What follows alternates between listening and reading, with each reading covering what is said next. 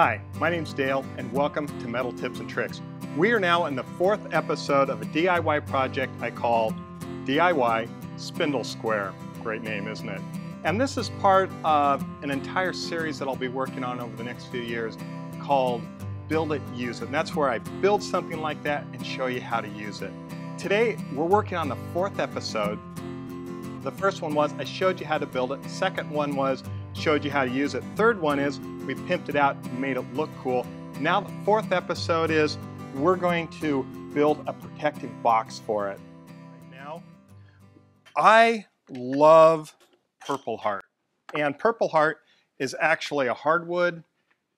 First time I used it was probably about 30 years ago. I was building a guitar. I used it for the fingerboard and also the binding around this acoustic guitar.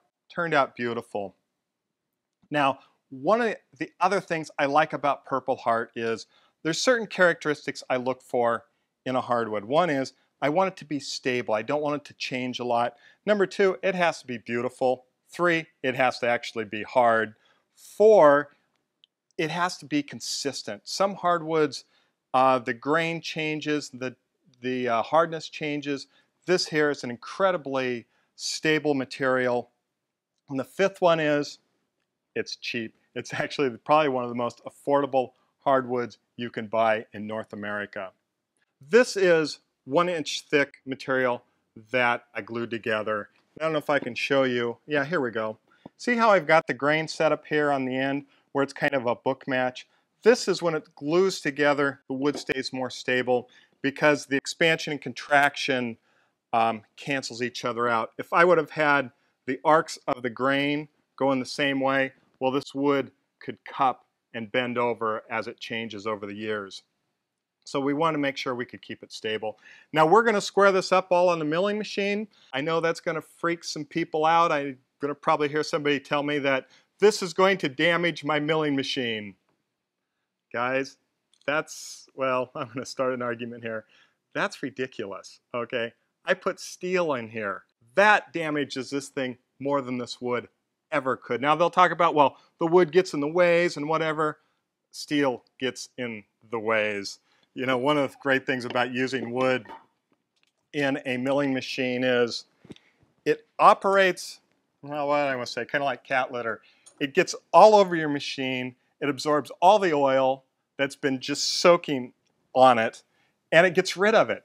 So that's a terrible analogy to tell it's like cat litter, like I throw cat litter all over my machine. Well, I don't do that. But what I am trying to say is it's actually a great way to get your machine clean to, you know, cut some wood on every once in a while. The sawdust, like I said, absorbs the oil, wipe away the sawdust, you have a cleaner machine.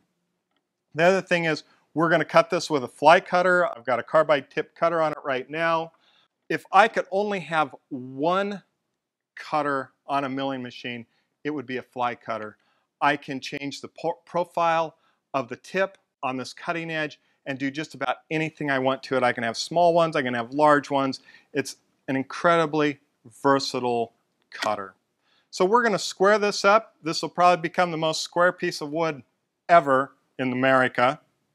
Boy, that's a bold statement. I'm just joking with you guys. Very easy to square up. We're going to bring it over here. We're going to touch off. Remember, we're cutting wood today. We get to have a little bit more fun. We get to speed it up. Oh, let me get some safety glasses on. Be back in a minute. We're going to go for stylish goggles today. What do you think?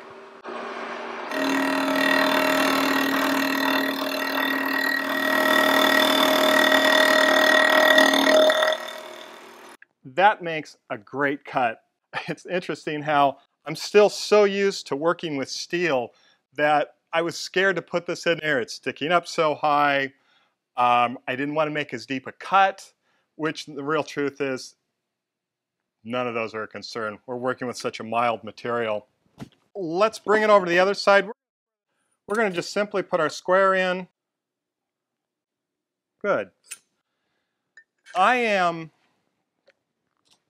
squaring this up so this corner is my hero position. This is number one.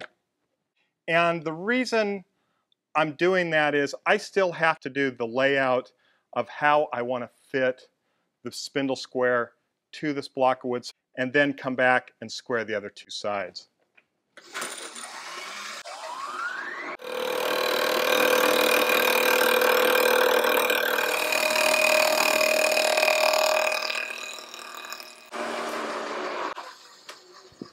Okay, I'm getting a lot of tear out on the back of this.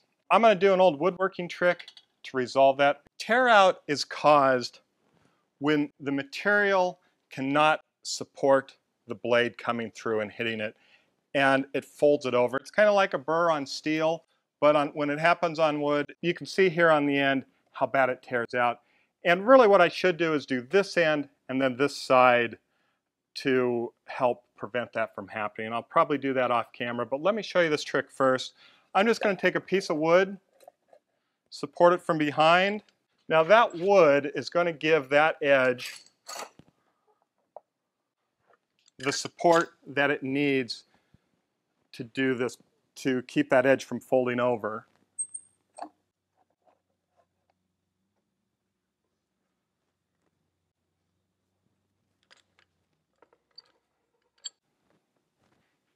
So it looks like I'm going to have to take off a good 3 eighths of an inch.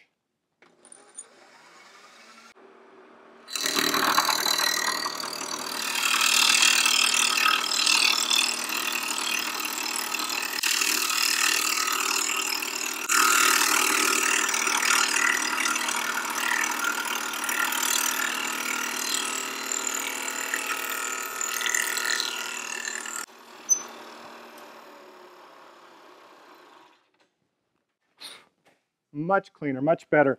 I want to show you something I was also doing while I was cutting this as an experiment. I was moving the wood in and out to just see what was happening. What I was trying to do was get the sawdust to be pushed back and not at me as much. But when I did that, because of the way the cutter was coming into here, it was coming in at a more shallow angle like shallow angle like this, it was tearing this out here. So you want to get a good strong approach so when that cutter comes into the wood, it hits it and cuts it in and doesn't leave that. Now some of you are going to ask why I didn't cut in both directions to save time. And there's a great reason for that is when this cutter is coming around this side, it's throwing the sawdust in that direction. When it's coming around this side, it would have just pelted me with the sawdust. And I didn't want to do that. And I'm going to finish this off camera and we'll see uh, you over at the work table in just a few minutes. We're now over at the bench and we're going to figure out a layout and how this whole machine is going to fit in here. And it's not that difficult. Remember, we're going to use the milling machine to mill this all out. It's the easiest way to do it. You could do it with a router. Well, it would be a lot of work. And the milling machine, I think, is just perfect for this. This is also a milling machine project, even though it's wood. I think it's still the best way to do it and it's kind of fun. If you don't like that I'm using my milling machine as a router, that's your problem, not mine. Don't want to hear about it. Don't need any trolls saying you can't do that because I'm going to show you wrong right now. What we want to be careful about on setting this gauge up inlaid into this box is, well, the goal is to keep the gauge safe. So what we want to do is we want to make sure that the gauges themselves don't get bumped around in the box when we're putting it in the box, taking it out of the box, or just moving the container itself to another place. So we want to have the gauge and the probes down here suspended inside this container. Mill out so it all sets and rests on the horizontal and the vertical post. It's very simple to do. Some of the things I've had to do on the back here is on these gauges, do I have one? Let me pull one out here. There is sometimes an extra support here for mounting to a holder, whatever you have. Well, they kind of get in the way of the box. You'd have to make the box extra deep so you don't hit those. I just cut them off and then filled them in with epoxy. Worked out really well. We're going to simply lay this out. We're going to give about an inch all the way around. Now remember, I've only milled two surfaces here. So first of all, we need to figure out where our lines are for when we take it back in and square up the rest of this machine. I'm going to set this up to about one inch. We're going to see where it comes over here and mark it.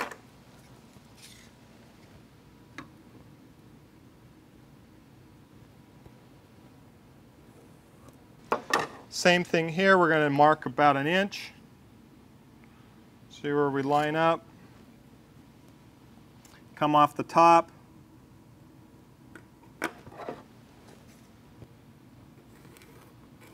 The fun thing about working with wood is we have more margin for error than normally in metal. So we've got this set up about a one inch. I'm going to simply just scribe this here.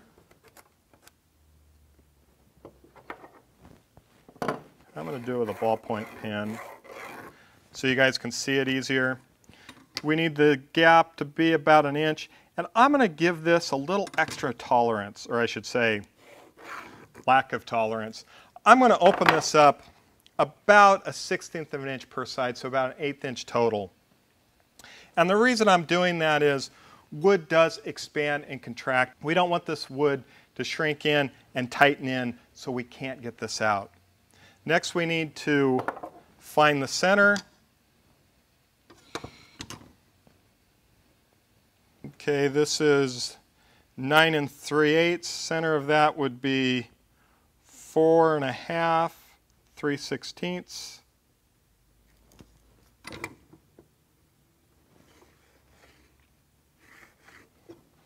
The material here is 3 quarters of an inch. So we need 3 eighths of an inch each side.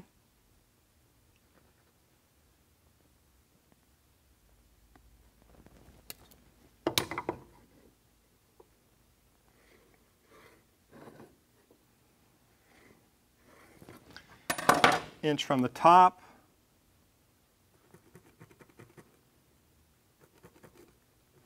What's fun about a project like this is when it's in the milling machine, if it's too tight, we just reroute it out. It'll be very easy to do. We're going to come in here, mark the ends.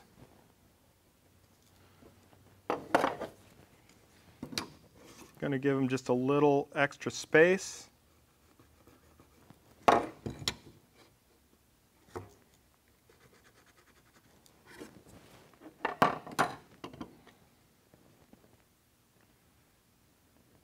we want to make room for the probes now. The probes, again, we just need them to suspend a little bit. We just have to make sure we have plenty of room for them.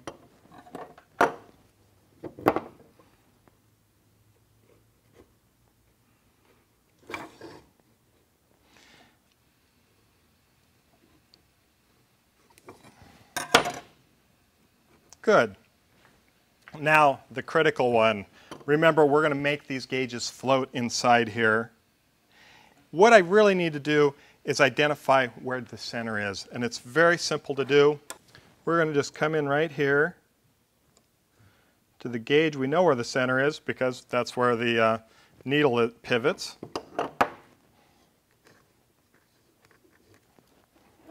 Bring it back up, line it up again.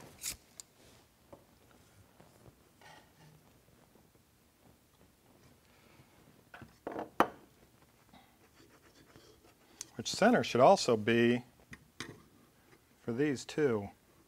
Huh, a little bit off. We're going to need to double check that.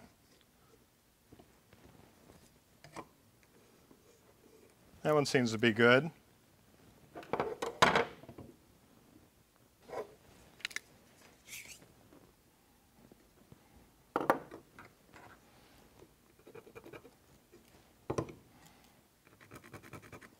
Okay, X marks the spot. When we cut this out, we're going to probably use a fly cutter to do that. Very simple, it just drills down, we're done. We want to give enough room for the little knobs and appendages here so they don't interfere when we're setting it into the case.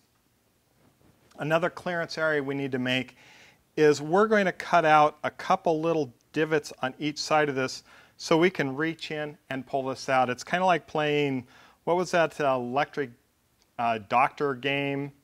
Oh, can't remember what it was called. Well, it's kind of the same idea. We need to be able to pinch down and pull this out. Uh, let's see, what else do we need to do? We need to talk about how deep this is going to go. And remember, we want to make sure we don't rest any of the gauges in this box on the wood. So we're just going to take, simply take a depth reading here. And it is about an inch and a sixteenth. We're going to, let's make the depth of this one one and one eighth of an inch. This vertical rod insets just a little bit. Let's measure that. That's an eighth of an inch. So this here will come out to one inch. I think we've kind of got our layout. Oh, we got to talk about some other things. We're going to put a hinge on here. So we're going to want to inlay the hinge just a little bit and then get it to set in there. Other things is we're going to use a couple of these uh, great rare earth magnets and we're going to probably put two of them two of them in here and that'll hold the lid shut. So this is all going to be milled out all the same size. And right now our material is two inches thick. Well, we don't need the full two inches. We're going to end up cutting off about three quarters of an inch right here. This piece is going to come over to the top and become our top. And the reason I haven't cut that off yet is when this is all squared up and done, when I cut this off, it'll be the exact same size as the rest of the material. Let's now head over to the uh, milling machine and go to work. So I've made some changes to the milling machine. I uh, switched the uh, jaws around on the vise. As you know, the jaws can fit on both ends. The, the, holes that were sitting here, they're actually fixturing holes, so you can mount the vise jaw on the end. And also the other side, to expand the capacity. The other thing that works out great is this anvil, I think you would call it an anvil, kind of acts as parallel, so when I put the wood in, it's tight, secure, and also level. We're going to use three different bits to cut this out. I've got a bit here, it's an inch, inch and an eighth. I've got a one inch, and I also have a half inch. And that's going to do all these depths here then we're going to have to cut a couple circles for the tops of the gauges. I'm going to put on my eyewear. Now, you know, these are very fashionable. And you know, the difference between good fashion and bad fashion is having the confidence to wear something stupid and still look cool. Okay, to work. I'm going to line up the cutters on each end of the lines. Come over here, and I'm going to set a zero and we're set. And when I get over to this side, I'll just visually cue it in and I'm sure I'll be close enough. I want to set our depth. So we talked about going down an inch and an eighth for the total depth. I am going to set my gauge here. I'm already set at three inches. I know I'm going to have to bring this down to four and an eighth. Very simple. I did that by just simply raising the knee up, raising the whole table until I got to my mark.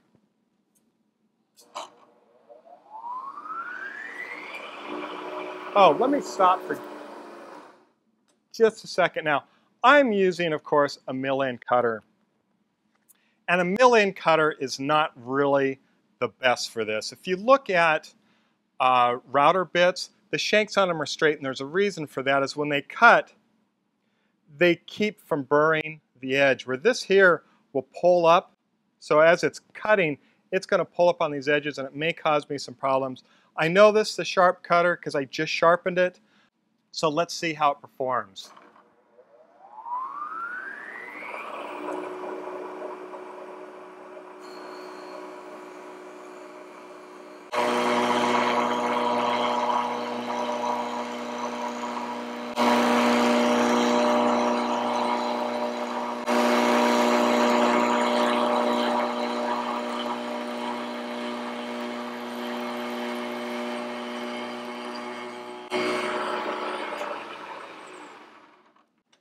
So we're definitely getting some burning here. I'm gonna go to a different speed. I've got a two-speed motor on here. So let's go to the slower speed and see how it does. Bring it up to zero.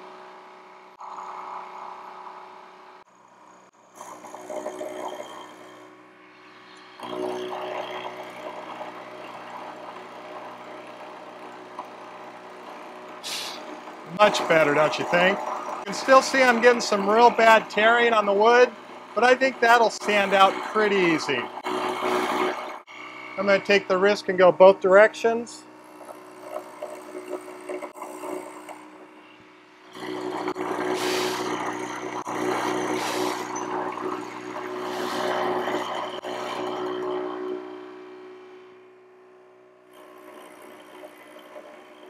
Now I'm taking about a quarter inch cut each time.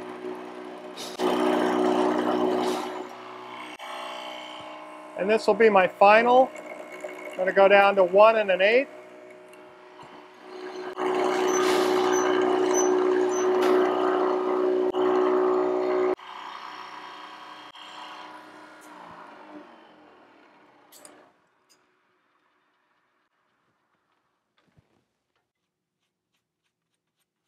Well, it's definitely a little scorched in there, but I don't think it's going to bother anything at the end of the day. Let's see how we did for tolerance.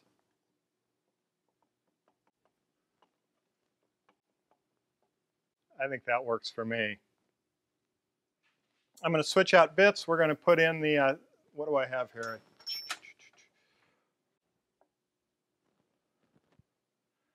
Seven eighths. Let's put it in. Now we're going to have to touch this off. We're going to line up just like we did before. Going to line up left and right to these lines, just match up to the cutter. So I just lowered the table a little bit to line this up to three inches. And that's going to be my touch off mark. We're going to take this down to one inch total, where this one here is an inch and an eighth. This is going to be one inch, one inch, and that's to allow for the differences in the diameter of the shaft to the main crossbar. Remember our fashion.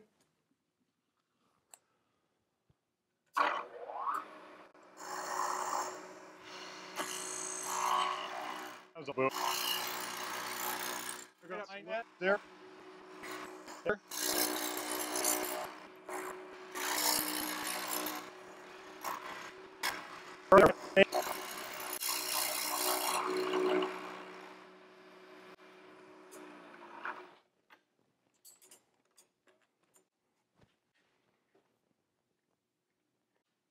Hi, I think we've got a really good lineup here. Let's cut these here and switch out the cutter. Now this, of course, doesn't have to go as far. Oh, if we look at this, we're about the halfway line, three quarters. I think we drop this down three quarters of an inch, it'll be just right. I'm going to line it up a little differently.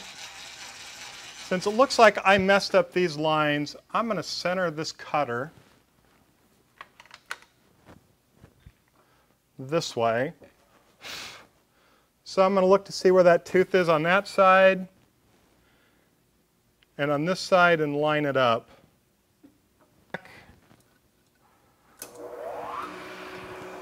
Cut in a quarter of an inch.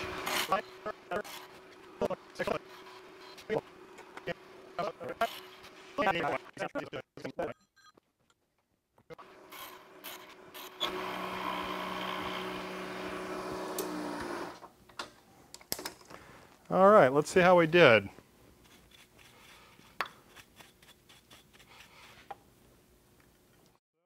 Got plenty of clearance for those tips. Well, this is so cool. Now since I've got this in place, I am going to just draw about the size of where the gauges are, just to get a reference. I'm not really sure how this is going to work out. I'm going to make room right here for the hinge, and then I'm going to mill this out so I have a place to put my fingers to pull out the gauge. Okay, this is a limiting opening hinge. It'll only go so far. Okay, let's get a width on this. So you can see how we've got that.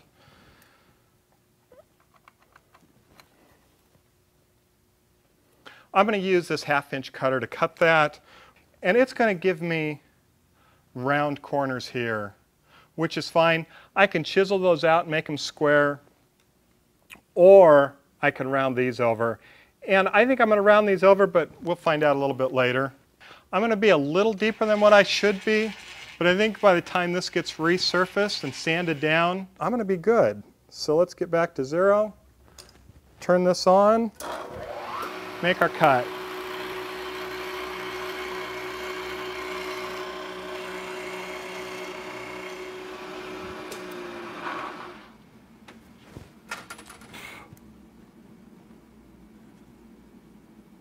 Pretty good.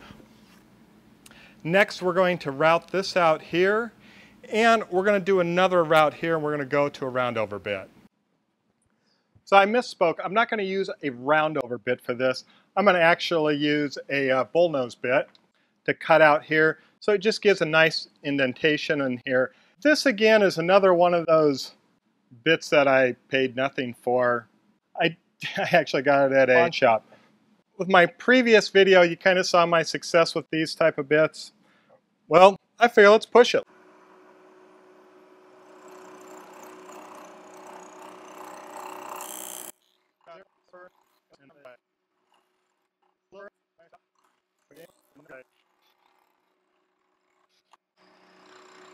Okay, this is a time to learn from my mistakes. You know, like I've said before, a smart person learns from his mistakes. A smarter person learns from somebody else's. So I want you to learn from mine. I should have making that cut first before cutting out for that shaft, and I may have prevented the splintering that I'm getting back here. That'll all have to be hand worked later, but for right now, I'm not going to concern myself with it. Come over to the other side.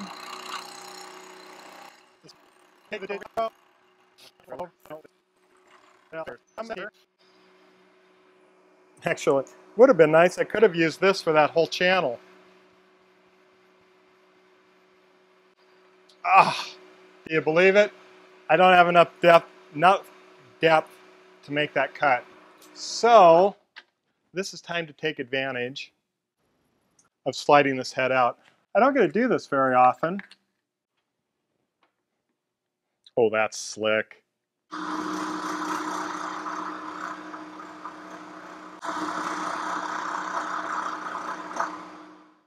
Yeah, that'll work. Again, this is splintering out. I'll have to do some hand work on that, just like the one back here. Now, let's get set up for the gauges. I've changed out the bit. I'm, you know, as you understand, I'm just kind of ad-libbing this as I go. I find this more as an experiment that's just kind of fun to do. So we need to router this out, and I'm going to do it two ways. First, I'm going to do the majority of the work that I want removed with this half-inch cutter.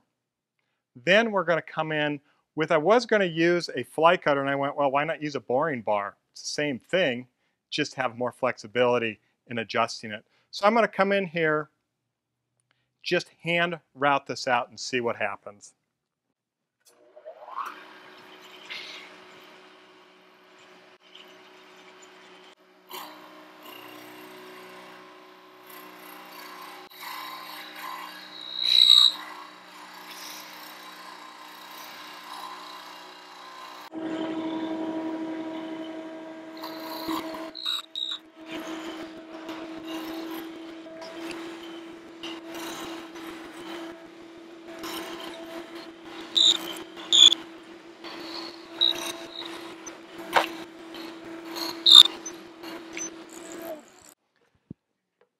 This is where I could have used math to figure out the whole circle and develop that diameter.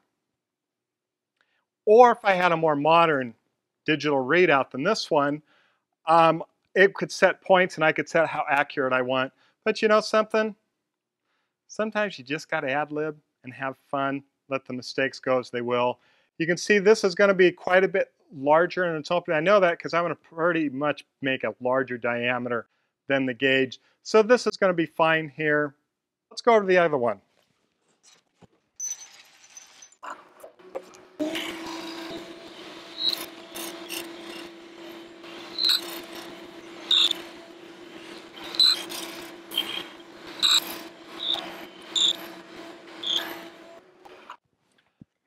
definitely learned some things on this second one. It worked out a lot better. One of the things you want to look out for is I was milling one way and then I'd test the other way and see which way the wood would tear out and then I'd go in the more favorable direction. Now, so once again, I've changed my mind. I was going to go in with a um, boring tool like this, but I decided to stick with a fly cutter. And the reason I'm going to use a fly cutter is not everybody has a boring tool like that. And fly cutters are just so simple, so easy. I'm going to show you how I'm going to line this up again. The measurements on this aren't super critical. One thing you do want to make sure is your cutter is very sharp. This one's carbide. This is actually a better opportunity for steel. Um, High-speed steel can actually be sharper than carbide. It just doesn't hold the edges long. What I'm going to do is I'm just going to simply just eyeball this. We got to make room for up here this is going to cut in right here if I keep with that diameter, but I got to keep it up there. Now I have a choice. I can keep this centered where it's going to cut in to this area here, which isn't, it's not the end of the world, but I don't think it's ideal. My other option would be to reduce this down by size so this cutter lines up right there, comes around, has enough room up there, and I think I'm going to do just a little bit of both. I think I'm going to cheat it a little bit. So I want to make sure that's going to clear. Come around to this side. Boy, it's still going to be in there. Let's bring it in some more. Now, I do like systems. Once I loosen one, you know, I need to loosen all three. When I tighten, I tighten all three at the same time, even if I'm going to go back and forth.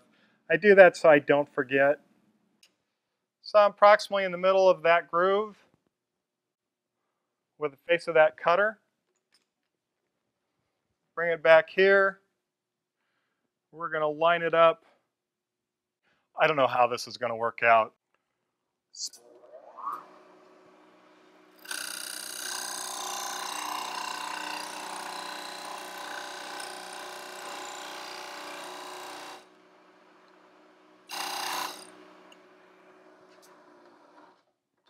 Okay, so now we can see how much more I need to mill out. Let's go over to the other side.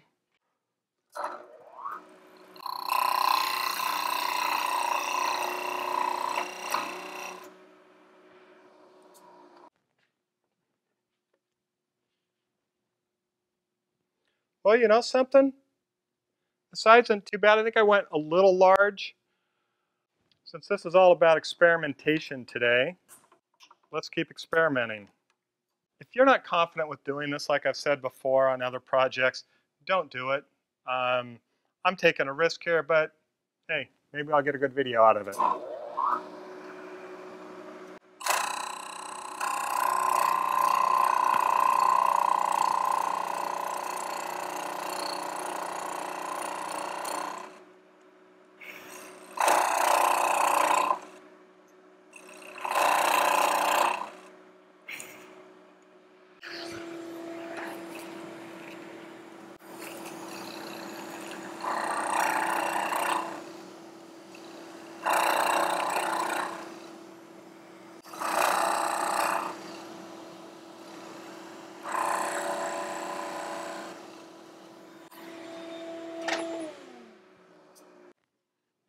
Working pretty cool. Let's bring the gauge over, see what happened. That's working pretty good. Then we can go to oversize. So we know where zero is there.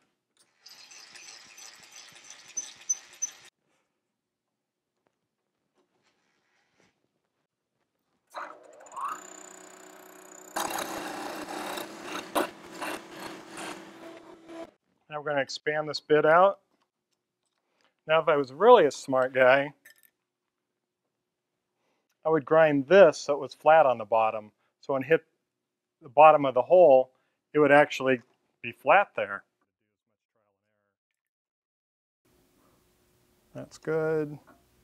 All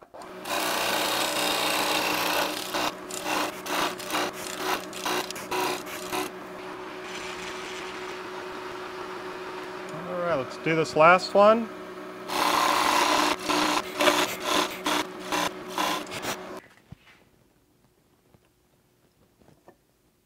It's kind of a personal preference to how you want to set this up. I'm still a little tight up here, so I'm going to clean that out. I'm going to clean up some other things. But I'm going to do that work off camera, and then we're going to work on the lid. As you can see, we're on the final stretch of finishing this project. This has been a lot of fun. And I want to just kind of go over the lid just a little bit. I don't want to go into too much detail, but let me show you what went on. Is I had to cut it off on the bandsaw. And the reason I did that is I wanted this top piece, when turned over, to fit onto here more accurately, and it's an easier way of doing it. But another more valid way, or just as valid a way of doing it, is to start out with um, three quarter inch stock. I start out with two pieces of one inch, glued it together, made it a total of two, cut off the lid, which is a little over, that's probably about 5 eighths, and cut that off on the bandsaw.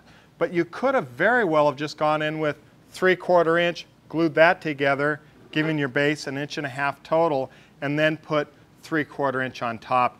And I would have done that if I would have had three quarter inch material, but I didn't. Now you can see after using the bandsaw, you get a very rough finish.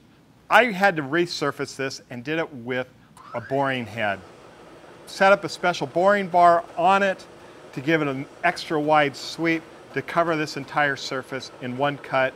The cutter that I put in it had just a little round bull nose on it. Worked out really, really well. But I must say, it's not a great way of doing it, but I did it just for fun, just to see how it'd work out. And as you can see, it worked out really well. It's flat. just that was the goal. Just didn't save a lot of time. Let's talk about the finishing. So after everything's done, everything's milled out, of course you have to sand it. And I use a palm sander for the larger surfaces, also round to the corners that way. I went in with a little detail air grinder with some different types of cutting heads on them to finish out the inside and also some other little things. And it's just kind of whatever you have on hand to finish it, that's what you work with. I sometimes like to, when I'm going into finishing wood, there's a lot of different ways you can do it. One is you can stain the wood and then put a varnish or a lacquer or a shellac over it. And it's a great way to do it, and actually I prefer it. That's a more high quality finish. In my opinion, it shows a lot more of the natural grain in the wood than what I used here. A way of cheating is to go in with a varnish wood stain. And the word stain, let's say, I'd say that's an embellishment. It really doesn't stain the wood, what happens is the finish itself, the varathane has the stain in it or the coloring.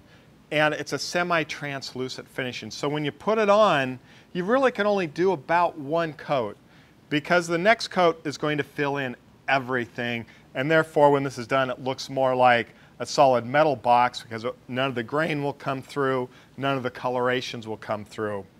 So it is a great finish to brush on one time.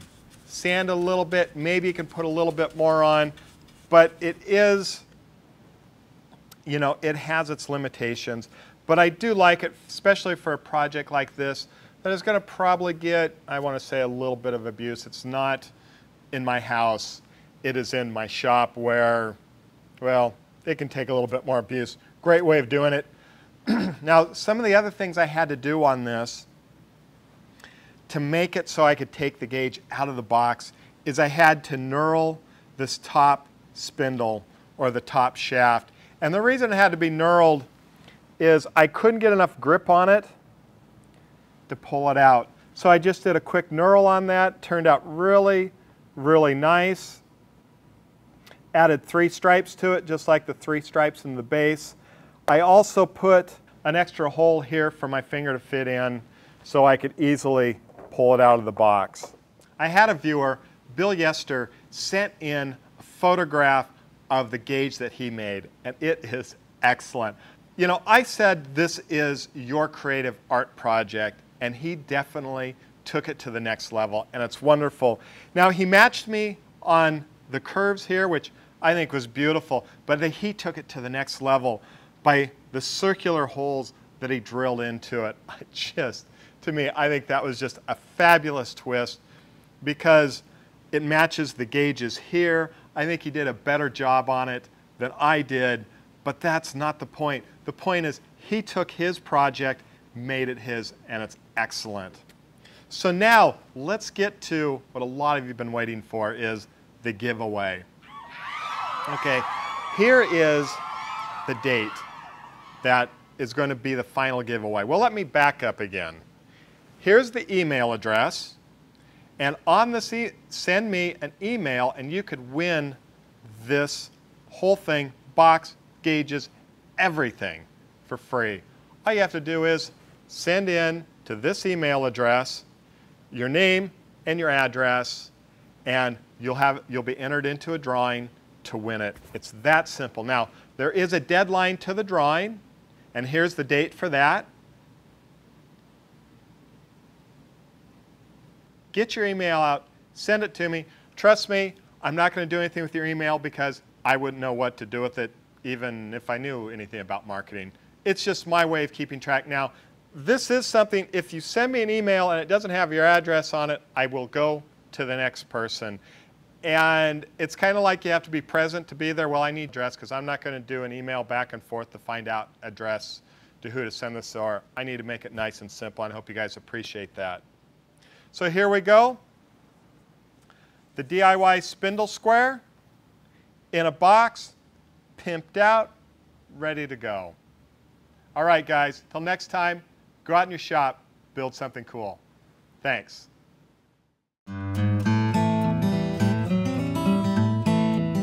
Just like I did with the other bit, is I did a depth of a thousand, uh, 70 thousand. I did a depth of that, that, that, that, that, that. I did a depth that was a lot. I did a depth that was um, somewhat deeper than it was.